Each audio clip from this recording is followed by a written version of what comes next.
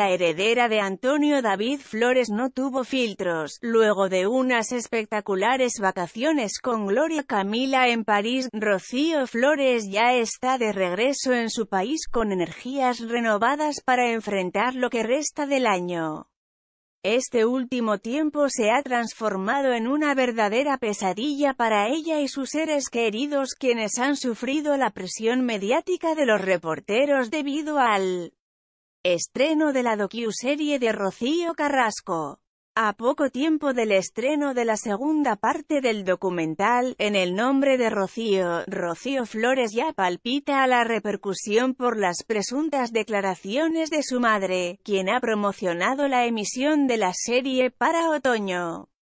Todo indica que la audiencia está muy cerca de ver el contenido. En las últimas horas, la colaboradora del programa de Ana Rosa, fue interceptada por los reporteros de Europa Press y sin temor a las críticas, ha confirmado que se encuentra sin miedo ante el inminente estreno de la segunda parte. Yo no temo nada ni a nadie, declaraba la heredera de Antonio David Flores.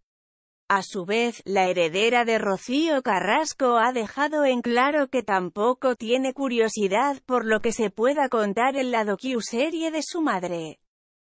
De esta manera, ha confirmado que muy poco le interesa las declaraciones de su madre sobre los archivos secretos de la mismísima Rocío Jurado. Inmediatamente, los reporteros han aprovechado para preguntarle sobre la presunta reconciliación entre Antonio David Flores y Olga Moreno, quienes han atravesado una fuerte crisis matrimonial.